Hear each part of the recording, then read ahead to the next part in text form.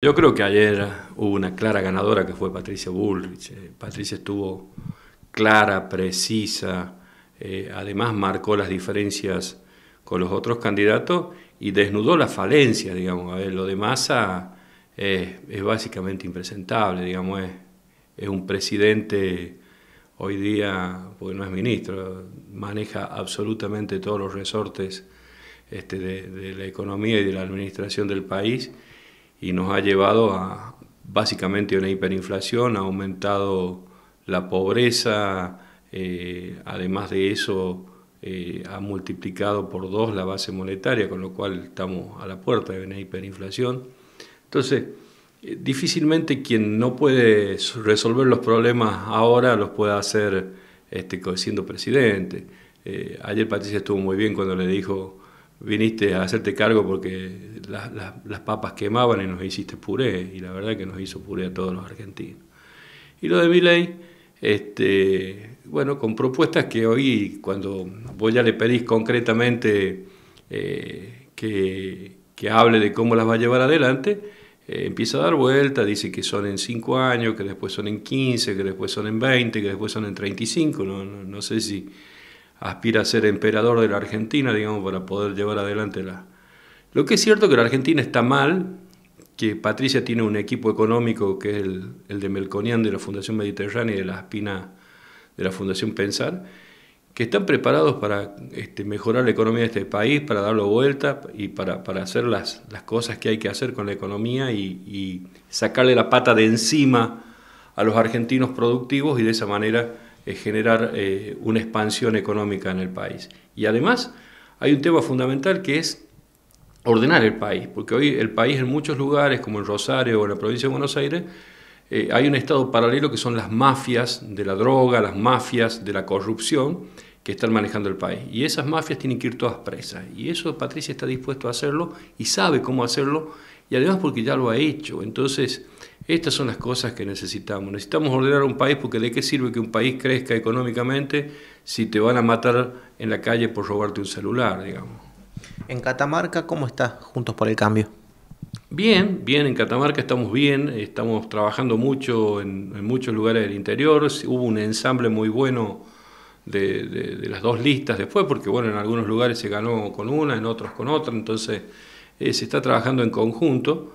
Eh, después de una paso tan larga, la campaña va a ser muy corta, van a ser estos 15 días que, faltan, digamos, y ahí me parece que va a estar el acelerador de la campaña. Yo creo que tenemos muchas posibilidades, por supuesto que hoy día hay un, jugador más, digamos, que divide el electorado en, tres tercios, pero yo estoy muy confiado en que, en que acá vamos a andar bien. Me parece que Catamarca necesita un cambio, la gente está cansada este, del manejo indiscriminado este, y abusivo del poder en Catamarca. Te pongo un ejemplo. Ayer el gobernador se fue en el avión al debate y volvió esta mañana. Son 9 millones de pesos que sale ese viaje. 9 millones de pesos, pero no hay plata para pagarle a los empleados que menos ganan en la administración pública ni para pagarle el aumento a los médicos. Entonces, esos gastos que vemos, que si vos los vas sumando de a poco, son los que hacen la vida distinta, digamos. ¿Cuántas cosas se podrían solucionar con 9 millones de pesos este, que sale un viaje? Digo, ¿por qué no, no viaja en un avión de línea que cuesta el pasaje y de vuelta le va a costar, en el mejor de los casos, Catamarca que tiene los pasajes más caros del país, 120 mil pesos para irse a Buenos Aires? Entonces, estas son las cosas que no entendemos porque eh, vivimos como si fuéramos jeques árabes en una provincia que es pobre, digamos. Entonces no eh, tenemos que, cuidar la plata de todos los catamarqueños.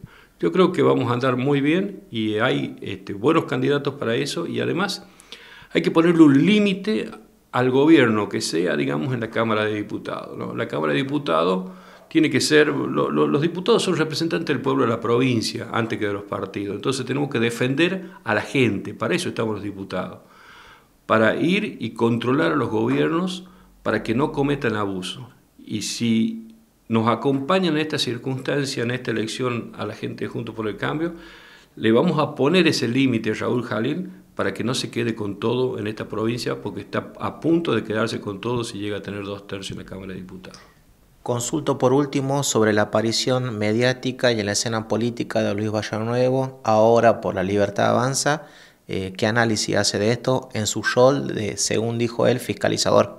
Bueno, esto es una muestra clara de la alianza de Milei con la casta, digamos, de la casta que él tanto critica se une con, te diría, el rey de la casta, digamos, ¿eh? el, que hace el, sindicalista que hace 40 años maneja el mismo sindicato, este, y, ya sabemos lo que ha pasado con, con Nuevo acá, digamos, cuando fue candidato, la esquema de urna, este, el desorden.